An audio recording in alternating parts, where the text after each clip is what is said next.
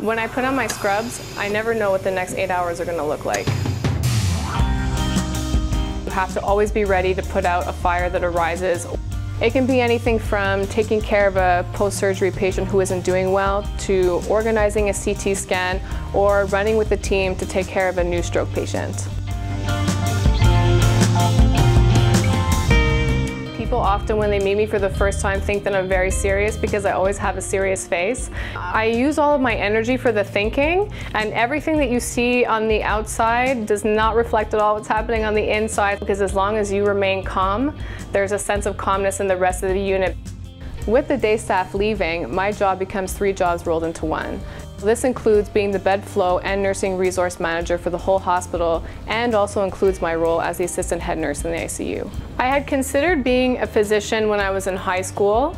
I spent a lot of time with my dad visiting hospitals and I learned a lot from the nurses that were there and I remember looking at them and thinking, wow, they're strong women. I had found that the compassionate and the empathy and the hands-on side was something that really interested me. My philosophy on effective patient care is the word teamwork. Everybody jumps in, everybody helps out, and we get through a crisis together. To say that's not my job is a sentence that you'll never hear from me because I will get on my hands and knees and scrub if I have to. I think that that's also an important part about leadership because the more that you show the that you don't have a rigid set of tasks that you will or will not do, I think that that resonates really well with other people.